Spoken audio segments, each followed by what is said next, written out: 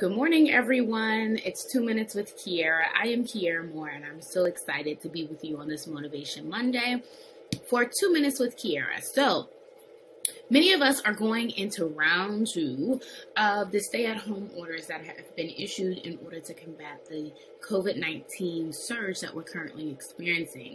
And I am fully aware that there are times when we need to just honor the fact that we're in a pandemic and we don't need to do anything, right? We need to rest.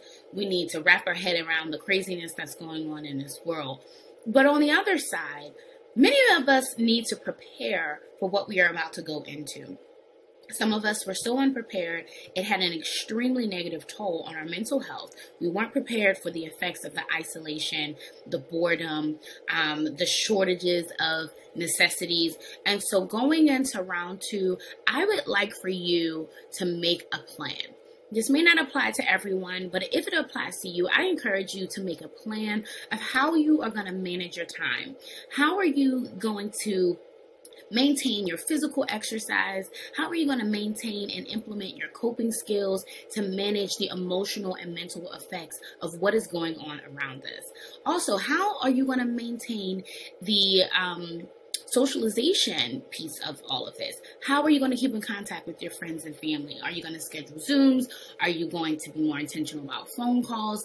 Let's go in with a plan so that we are not caught in a really negative headspace this time around.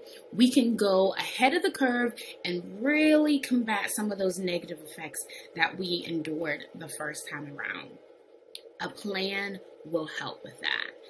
Novelty, um, things that you can do, just the pastime, all of those things are extremely important.